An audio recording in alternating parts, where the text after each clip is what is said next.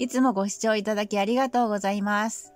今日もさっさと登場人物をご紹介してストーリー紹介を済ませてからこの映画について語りましょう。デカードはハリソン・フォード、レイチェルがショーン・ヤング、ガフがエドワード・ジェームス・オルモス、ホールデンがモーガン・ポール、ブライアントがエム・エメット・オッシュ、ロイがルドガー・ハウアー、プリスがダリル・ハンナ、リオンがブライアン・ジェームス、ゾーラがジョアンナ・キャシディ、眼球職人がジェームス・フォン、セバスチャンがウィリアム・サンダーソン、タイレル社長がジョー・ターケルです。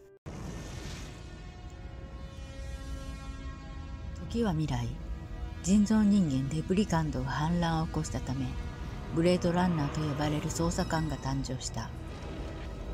レプリカントの中でも、レクサスシリーズは体力、敏捷性、腕力、知力すべてにおいて生み出した研究者よりも勝っていた。レブリカントの生みの親であるタイレル博士の経営するタイレル社の一室にて、捜査官ホールデンが侵入サインのリオンに質問する。明らかに不審そうなリオンの瞳を、ホールデンは拡大鏡で確認しながら、感情を刺激する質問でテストする。リオンの答えは発砲に終わった。飛行船が植民地への移住の勧誘を流している。雨の街でデカードは立ち食いそばの日本人店主に順番を告げられる。デカードの食事の邪魔をしたガフは北欧の言語でデカードに話しかけてくる。上司ブライアントの呼び出しだという。ブライアントの話では6人のレプリカントが植民性から宇宙船を奪い乗員を全員殺害し地球に密航してきた。すでに引退しているというデカードにブライアントは君には選択の余地はない。デカードは自分の後継者だったホールデンが再起不能なのを見せられる。6人のレプリカントはタイレル社を襲って、うち2人のレプリカントが殺され、4人が逃走。従業員として潜り込んだリオンにホールデンを発砲されたのだった。リーダーは戦闘用レプリカントのロイ。同じく戦闘用ネクサス6型のゾーラ。リオンは強靭な腕力と体力を持ち、プリスは慰安用で、4名ともネクサス6型で4年の寿命しかない。デカードは大レ車に向かうことになる。美人秘書のレイチェルが迎えてくれるが、タイレル社長はレプリカントを判定できる VK テストをレイチェルに行ってみてくれという。地平線に浮かぶ太陽に明るすぎるというデカードに窓にシェードがおり、顔面の毛細血管や瞳の交際の動きを拡大鏡でチェックしながらデカードはレイチェルに質問をする。レイチェルが席を外し、デカードはレイチェルをレプリカントと判定する。レイチェルは自らをレプリカントとは知らされてはいなかった。彼女は試作品で感情が芽生え始め、思い出がないことでイラつきが始まっている。過去の記憶を与えれば、精神を落ち着かせ感情を抑制が可能になる。と、タイレル社長は言う。血のつく雨、リオンの家を捜査するデカード。汚れた浴槽から見つけた破片を袋に入れる。ガフルが紙で作った人形をテーブルの上に置く。デカードは引き出しから写真数枚を見つけ押収する。リオンが自分の住処に近づき人がいることに気づく。まだ時間はある。とつぶやくロイが待っていたのはリオンだった。写真は持ってきたか？人がいたので撮ってくれなかった。とリオン。二人は目を作る職人のもとを訪ねる。冷凍室で作業をしている眼球職人の前で、リオンは液体窒素に手を突っ込んでも平気だった。ネクサスの目も作った。という眼鏡職人の防寒服をリオンは引き裂きロイは自分の寿命を知りたい。という。タイレル社長ならわかるだろう。セバスチャンなら案内してくれる。デカードが帰宅するとレイチェルが来ていた。あなたに会いたくて手伝わせて。私はレプリなの？私にはちゃんと記憶があるのよ。と、レイチェルは母と撮った写真をデカードに見せる。それはタイレルの命の移植記憶だ。君はレブリだ。と言われ、レイチェルは涙を流す。それを見てデカードは、冗談だよ。君は人間だ。もうお帰り。立ち尽くすレイチェルにデカードはドリンクを勧めるが、レイチェルは母の写真を投げ捨てて帰ってしまう。パンクな少女に身をやせしたプリスが、血のつく雨の街を歩いて、廃墟のような建物の玄関先でゴミの中に身を沈めて休む。そこへ車で帰宅したのがセバスチャン。驚いてバッグを落として逃げようとしたプリスは、車の窓グラスに突っ込んで割ってしまう。怒りもせずバッグを拾って声をかける優しいセバスチャンに、プリスは、私迷子なの。お腹が空いたわ。と食事をねだる。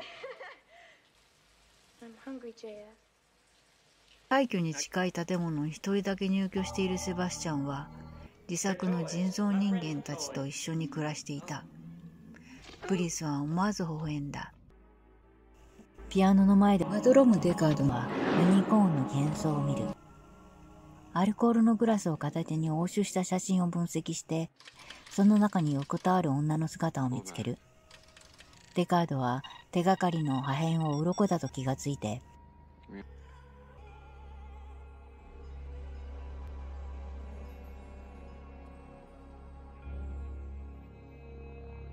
鑑定人に人工蛇の鱗よと作者の名前を教えてもらう。そして作者からチャイナタウンのルイス・タフィーに売ったと聞く。タフィーの店に着いたデカードはふとレイチェルに電話しタフィーの店にいる一緒に飲まないか？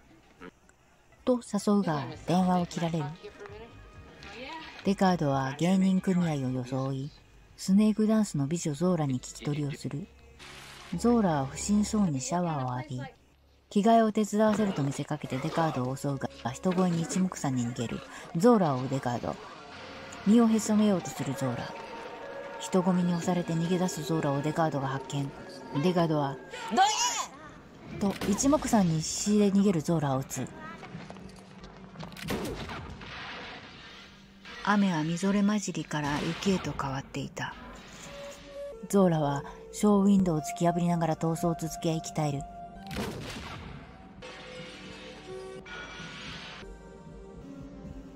息絶えたゾーラの見開いた目から涙が流れた。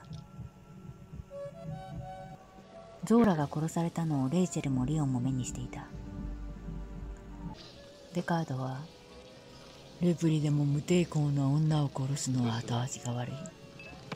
と酒を煽る。やってきたデフとブライアントが、レイチェルが脱走したと告げる。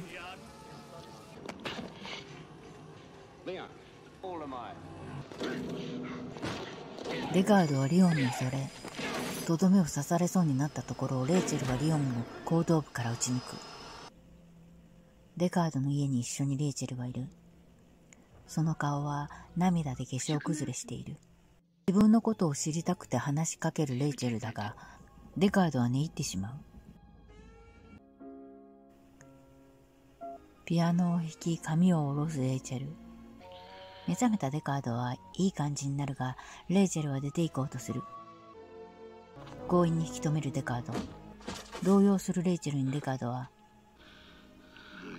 キスして、抱いてと言え。不安で潰れそうなレイチェルはデカードに、私を離さないで。今日も日系の宣伝が未来の街の看板や飛行船から流れる。プリスはセバスチャンの黒いペイントを自分の目にスプレーして化粧する。目を覚ましたセバスチャンにプリスは、どう？似合う？綺麗だよ。そこへロイがやってくる。セバスチャンは25歳だが、遺伝子疾患の早漏病で老けていて寿命が短い。現れたロイとキスをするプリスに、セバスチャンは焼き餅を焼いて朝食にしよう。今から作るよ。と二人の間を通る。ロイは頭脳明晰でセバスチャンのチェスパネルをいじり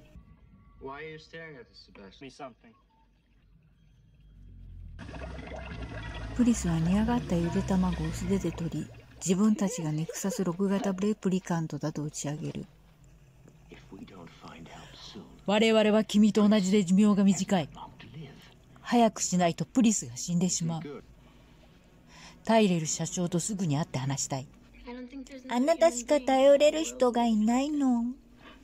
とプリスに言われ優しいセバスチャンはロイと社長のもとに向かい深夜にエレベーターからチェスの手を摘み社長は上がってこい会いたい。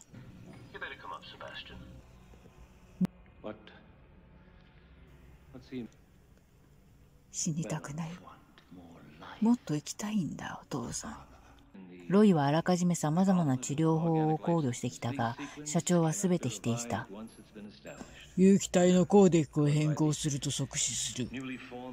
君は若子だ生きているうちに楽しみなさい。ロイは社長に口づけしやりきれない気持ちをぶつけてそのまま社長の顔を握りつぶす。残酷さに動揺し逃げようとするセバスチャン。デカードのもとに社長とセバスチャンが死体で発見されたと連絡が入る。デカードは巨大な置き屋のような雰囲気の建物をセバスチャンの部屋に向かう。銃を手にロココ調の巨大な扉を入るとデカードはベールを頭からかぶったプリスに近づく。デカードがベールをゆっくりと引き剥がすとプリスはいきなり規制を上げデカードを襲う。両足でデカードを挟み首をねじ上げデカードが倒れると一旦遠ざかり規制を発しながら襲ってくる。デカードの必死の一発がプリスに命中。勢いでそのまま壁部屋に倒れ込んだプリスはその場で壊れた機械人形のように規制を発しながら暴れまくる。でさらに一発打ち込んでもなおもプリスは不気味な規制を上げて手足をバタバタと暴れまくる。そして3発目でついにプリスは絶命した。そこへ帰ってきたロイは異変に気づき息絶えたプリスにキスする。ロイを狙い撃つデカード丸腰の相手に卑怯なと銃を持って進むデカードの手を突然壁を壊して叩き込むこれはゾーラの恨み？プリスの恨み？と恋人薬指を折り銃を返す。デカードの銃弾はロイの右耳をかすった5秒待ってやる。今度は俺の番だ。ロイはプリスの血で自らの顔に血のりの線を引き涙を流しながら深い悲しみに苦悩の声を出す。デカードは反り返って折れた自分の指を強引に元に折り返し痛みに叫び声を上げる。ロイもまた怒号を上げた。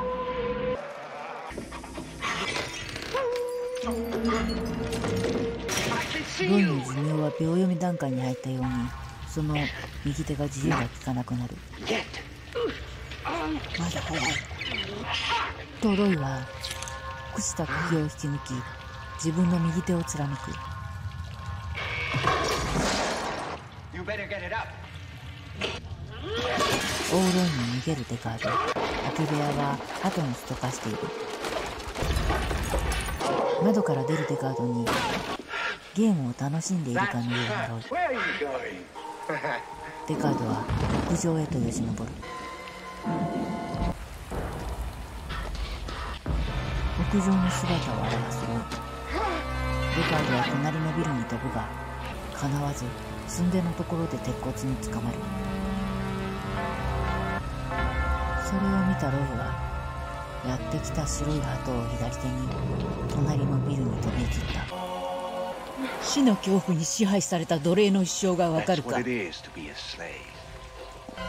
を言うとずるずると落ちるデカードの手が離れた瞬間に左手に鳩釘の刺さった手でデカードをしっかりと屋上まで掴み上げその場に座り込んだ。俺は宇宙の果てでいろいろなものを見てきた。この記憶も死ねば消えてしまう。まるで雨に消される涙のようだ。とロイは情けなさそうに言うと首をうなだれ座ったまま息絶えたロイの手から白い鳩が飛び立つ。白んでいく空にガフのフライングカーが上がってきてデカードが開花に落とした銃を投げてよこす。短い命だがあと一人。で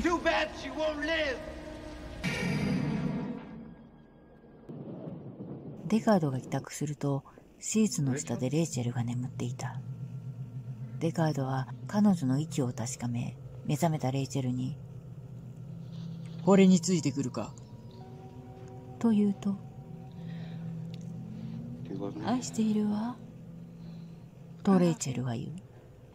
デカードはレイチェルと旅に出る。ガフの折り紙のユニコーンが残されていた。ガフはレイチェルの命が短いと見逃してくれたのだ。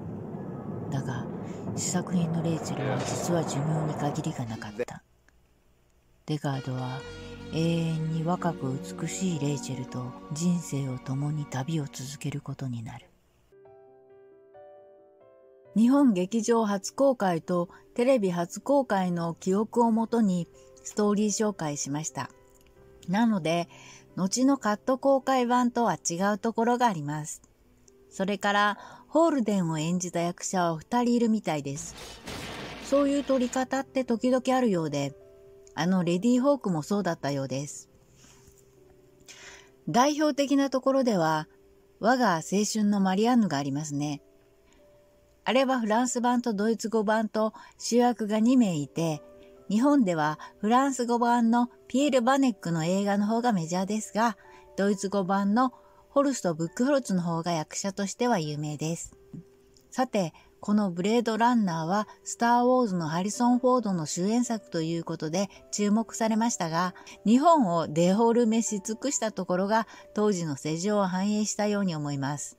スター・ウォーズが銀河鉄道39の模倣だとか、NHK 放送のキャプテンフューチャーがハリウッドの映画業界に逆輸入されていた時代ですね。立ち食いそばの店主は日本人で差し子模様の服を着ているのが面白いですし、今ではアメリカでも珍しくなくなっている割り箸を利用しているところ。そして子供の頃から私が愛用している若元が多用されているのには感激です。そしてもう一つ注目していただきたいのは特撮監督のダグラス・トリンブルです。当時は2001年宇宙の旅のリバイバルで彼の技術が再評価された時代でもありました。そしてまた未知との遭遇も注目作でした。その後はスタートレック、ブレードランナーがダグラス・トリンブルの作品となりました。それにしても、ゴルフ用品、人造ピーボシ、美味しいお料理はわかるのですが、お手持ちの取り口って何でしょうか？お待ちの取り口でしょうか？気になりますね。はい。これからも私の大好きな作品をご紹介していきたいと思います。本日もご視聴ありがとうございます。チャンネル登録、グッド評価、この動画に対するご意見、ご要望、ご感想をコメントください。では、またねバイバイ。こんなんしないよね、最近ね。毛羽立ってないもんね。じゃあ私もいただきます。うん、にゃー、にゃー。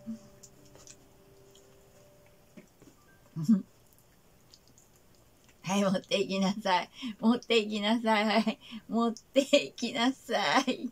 持っていきなさい。ほら、持っていきなさい。get to hear me now.